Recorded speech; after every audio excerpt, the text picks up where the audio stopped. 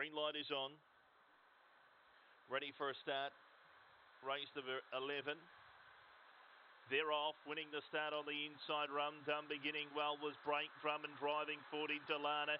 Superior Bond not that far away as they jam. Magic Panther drop back to the fence to save ground from Fran Bale. Then Blackpool Funk Lightning Ben around the turn. Rum Dum in front. Into Lana out deep, sweeping through between runners. Magic Panther still Rum Dum in front, driving on the fence. Fran Bale. Rum Dum won it from Interlana and Fran Bale, and fourth in Magic Panther from Superior Bond.